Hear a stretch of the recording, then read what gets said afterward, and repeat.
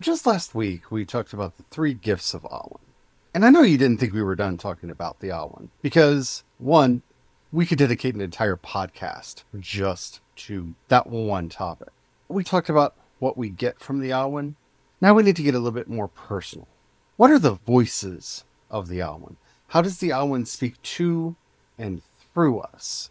Let's talk about that today as we walk down creation's paths.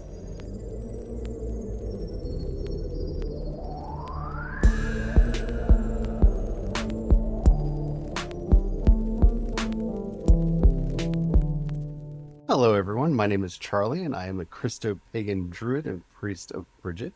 Hello, my name is Brian. I am a Christo pagan druid and sous chef to the Dagda. I kind of want to start these episodes by saying Bridget Yves or Bridget Augusto Dia Yves, which Bridget Yves means Bridget be with you, Bridget August, Bridget and your gods be with you. I, I don't know if I want to be starting in I- Irish or not. So let me know what y'all think. I'm, I'm curious. And also, don't forget to like and to subscribe to this on whatever platform you're listening to us. We provide you with new content about Druidry, Christo paganry every day. Don't forget to subscribe so you don't miss any of the wonderful things that we are talking about.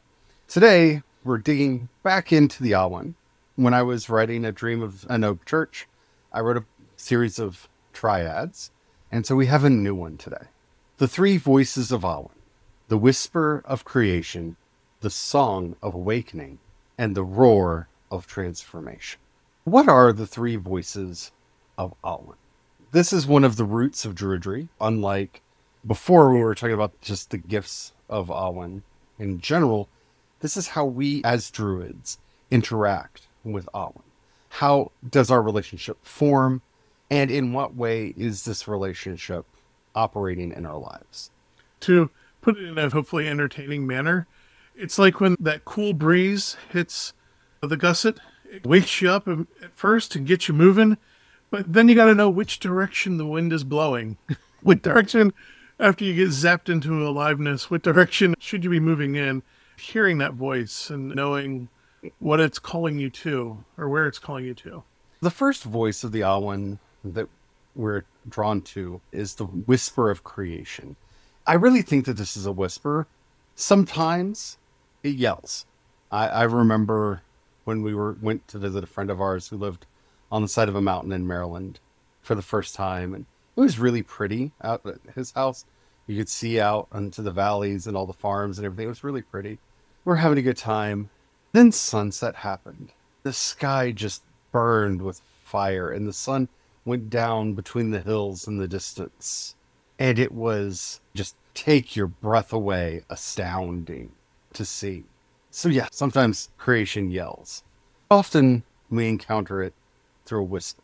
If we're not careful, it's easy for us to miss that whisper because it is subtle.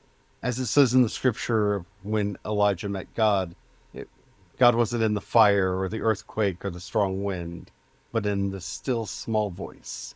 And so many times in nature, that's how we encounter the Awen, that inspiration. It's a subtle thing, it's a small thing, it's a whisper. We tend to focus on listening to that loud thing and then we miss the subtle whispers. The nuance. The nuance gets lost, distracted. when we're sitting here with the trees or out in a national park or in our front yard or backyard or just driving through a farmland or whatever, it's easy to get distracted and miss all the little things that are happening.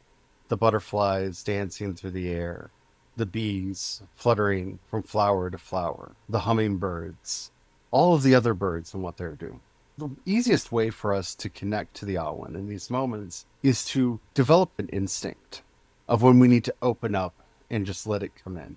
I like to do cloud watching. Cloud watching is a form of scrying where you watch the clouds and listen for messages from them. This is a very subtle art. This is not a science. I remember being with some friends in San Francisco a couple years ago, and my back was really acting up. So I couldn't really do much of anything. I wrote about this actually on the blog over at Creation's Paths. So I was sitting while they walked a labyrinth. And I was watching the clouds over them. As they were calling on this blessing to come in, the clouds kind of broke a little bit. The sun was in the sky just right. That it looked like a chalice with the sun sitting glowing on over top of it. It was this beautiful moment that reminded me of a priest holding the communion host over the chalice, there in the sky in the clouds, right over top, for, from my perspective where I was sitting, where these people are communing through the labyrinth. It's subtle. What does that mean? Well, that's a lot of interpretation. That's a lot of intuition work. But if I hadn't been looking, I only know of two other people that saw it because they saw the look on my face and they asked, What is it? And I pointed up at it in the sky. And they looked up and they also had this moment of just because it, it looked so clearly. It was a beautiful moment. And so finding those spaces, whether you are a cloud watcher like I am, whether you're communing with the trees or the birds and taking that intentional time to listen, but also just in your regular life. For myself, a practice I like to do in my regular life as part of my morning ritual of waking up and getting the day started, after making the coffee, I take that moment sitting there, half asleep, half awake. I just try to listen to those soft whispers before I let myself get distracted by what I'm going to do today and what's going on today and what's on the agenda and all the on and on and on busyness. I take that moment. Part of that is part of the coffee offering to the Dagda but part of that is also taking that moment to listen to the Awen for the subtle whisper, the inspiration, the soft whisper in the, those moments of silence. And also when I go to drink the coffee, I take a second moment because by then I'm a little bit more alert. And as I'm about to partake that first sip, there's also a moment of just mindfulness, just listening for that whisper. I take the sip and then I listen again. But whether I hear something or not, it's that practice, that exercise, taking that moment so that I, then throughout the day, I'm better practiced at listening. This is where it's really important, if you didn't listen to it already, to go to our episode on the five spiritual powers, because you build this up through that. It's learning to trust those intuitions and testing. Is this what I heard? And if the message proves true, then yes, you did hear it right. If it didn't, if you misheard, if, if there wasn't anything there, okay, well, that's not how I should have felt that this, I, I was wrong in my intuition. And you train yourself through trial and error until you get to a place where you start having a really good batting average. You start yeah. really getting to a place where you know what's going on. The second voice of Awen is the Song of Awakening. And we did a whole episode on spiritual awakening, and we'll probably visit the topic a couple more times because it's a very deep, deep well to get into. But I really do think that the image of this as a song works. It really matters here this is where the works of J.R.R. Tolkien really speak to my spirit. In the Silmarillion, in his version of creation, his God calls all the spirits in the universe together. They sing creation into being. And one of them sings a discordant note. And this is where all evil, sickness, and disease comes from. All bad things are from this discordant note sung by this one spirit. And to me, this is a deep intuition because sometimes when we're listening to the voice of the Awen, we can feel that discordance within us. Something isn't resonating properly. Have you ever heard somebody play a guitar that's not tuned right and there's kind of a buzz on the strings? Piano that's just slightly off tune? Something isn't quite tuned right.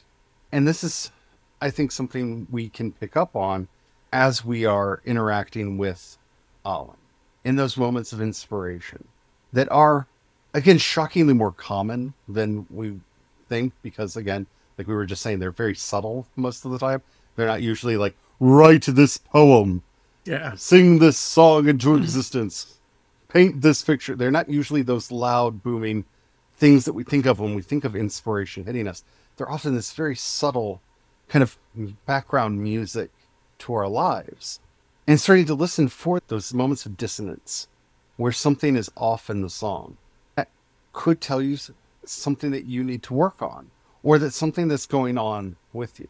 I know when a friend of mine was going through some things, I would feel this kind of discordance in the direction that they live in. when I would sit with it for a little bit, I would start remembering us hanging out. Just memories would start bubbling up of the two of us. I started thinking about them more and more and more, and then I sent them a text message, only to find out that they were going through a thing. And we talked, and they needed somebody to talk to. We do that a lot more than we realize as we're interacting with this. That was an inspiration of the Awen. That is a very powerful thing because that the mindfulness will allow us to start hearing the different notes, hearing when it is the song, the Awen, and when it is something else, the discordance.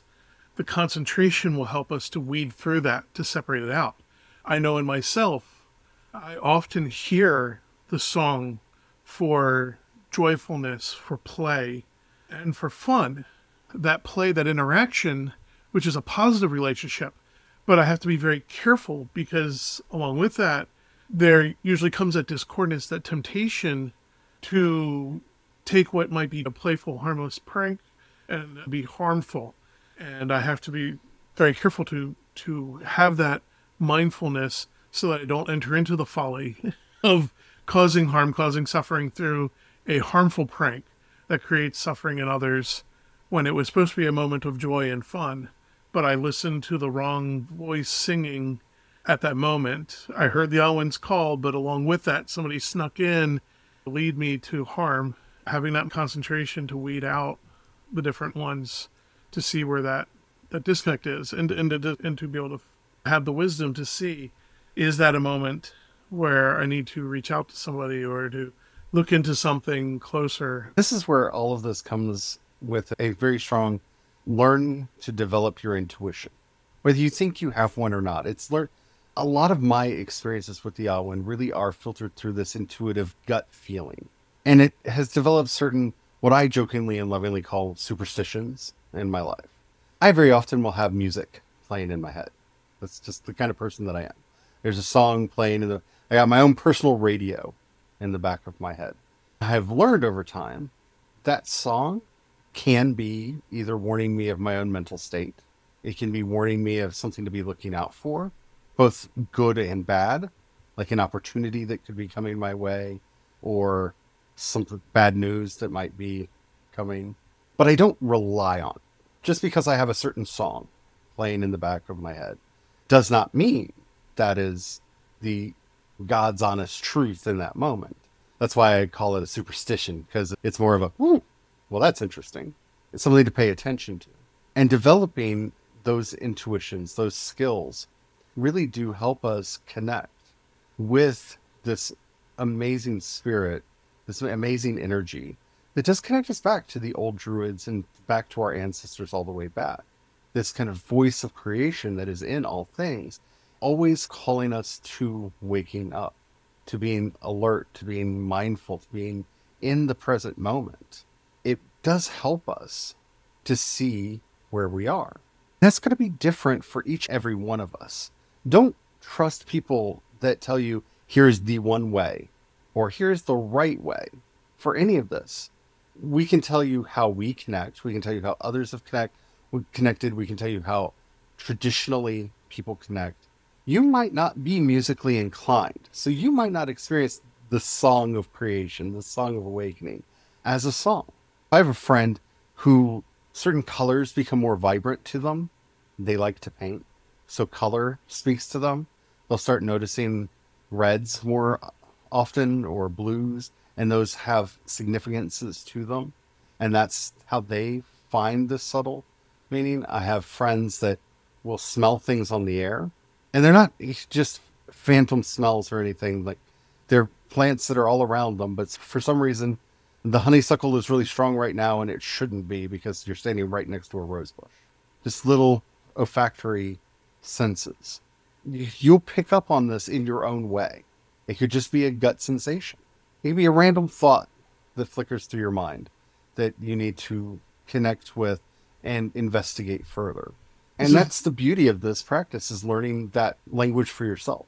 Yeah, this is why we talk about it in terms of languages because the simple fact that it's translated into your own understanding, your language. Everyone has their personal language, and you can learn other languages as well. Like I started out all of that was understood on an intuitive level for me. I spoke from a language of intuition and I didn't know the language of song, I didn't know the language of color, but I learned to to speak the language of song so that I can take my as I interpret it as intuition, but I can speak to others who interpret it through song as a second language. The third voice, the roar of transformation.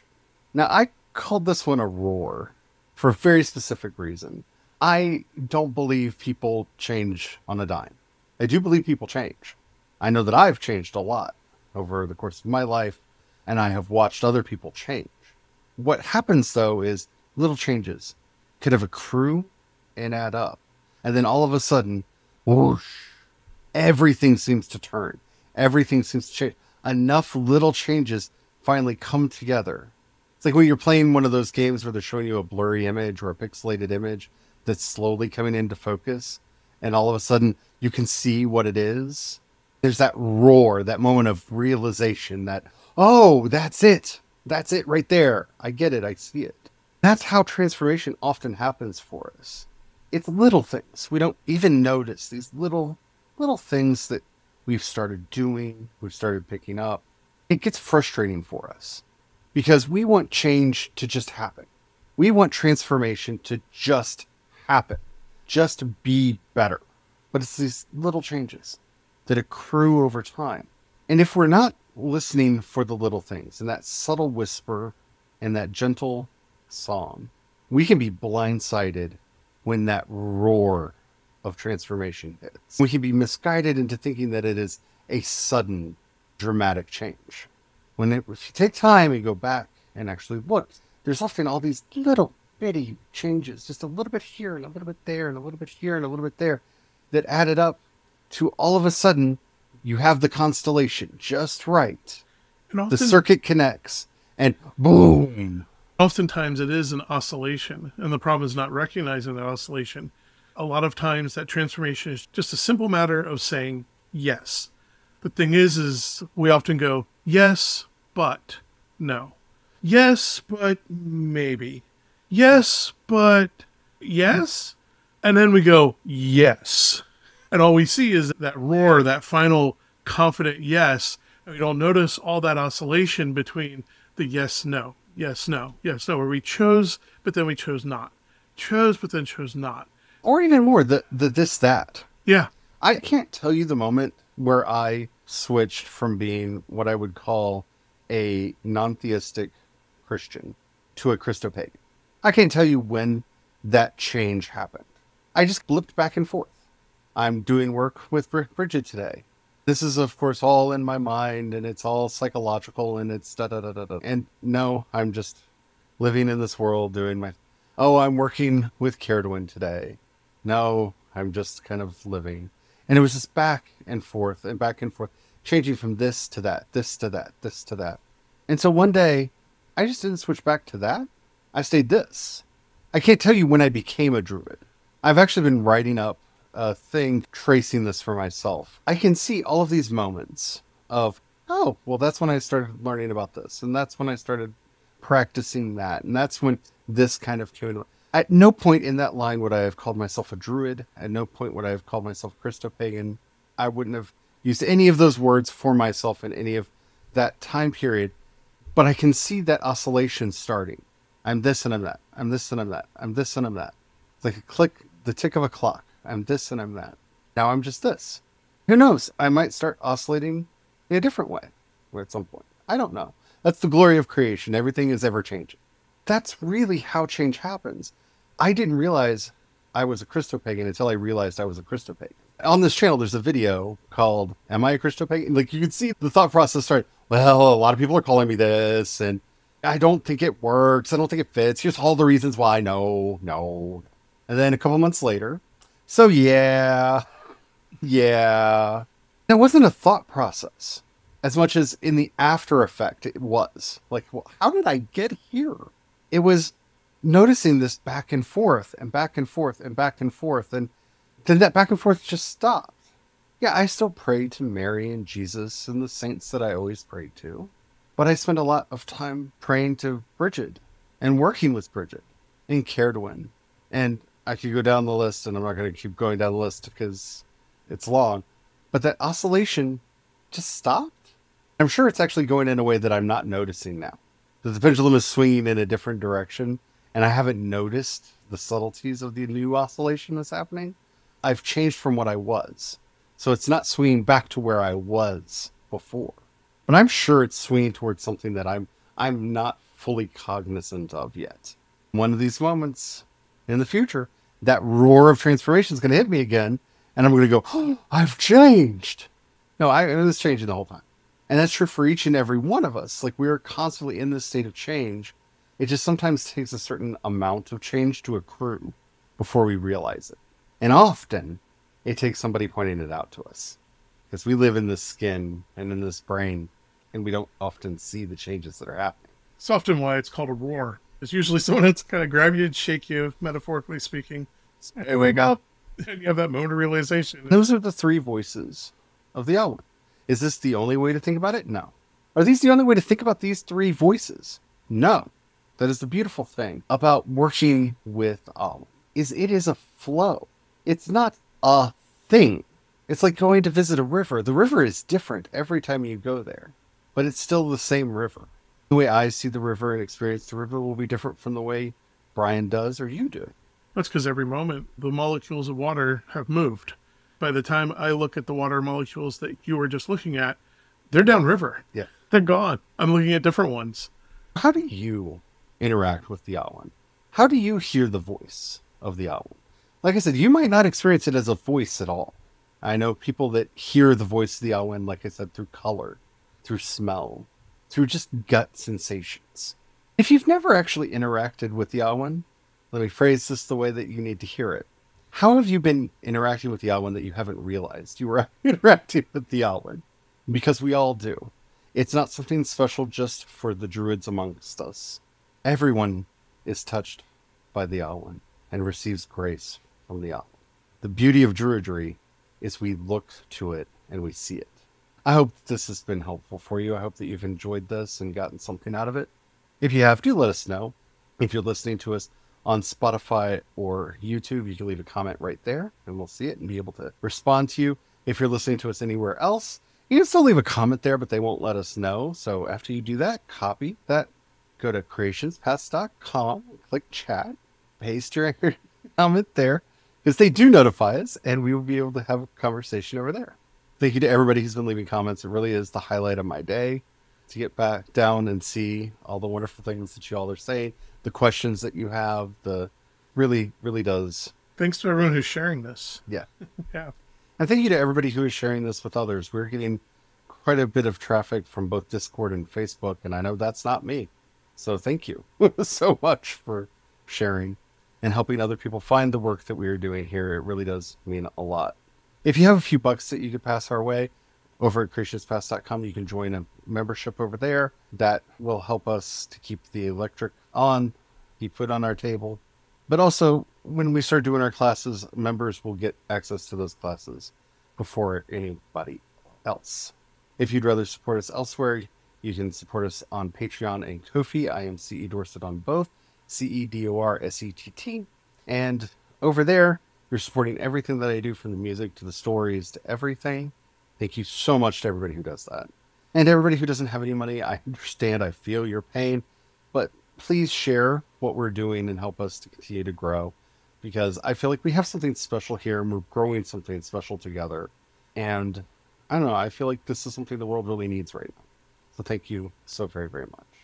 Until next time, may the Awen sing a special song for you, a song to guide you towards your heart's deepest desire and lead you towards the blessings that you need and away from all the things that might do you harm. Amen. Amen.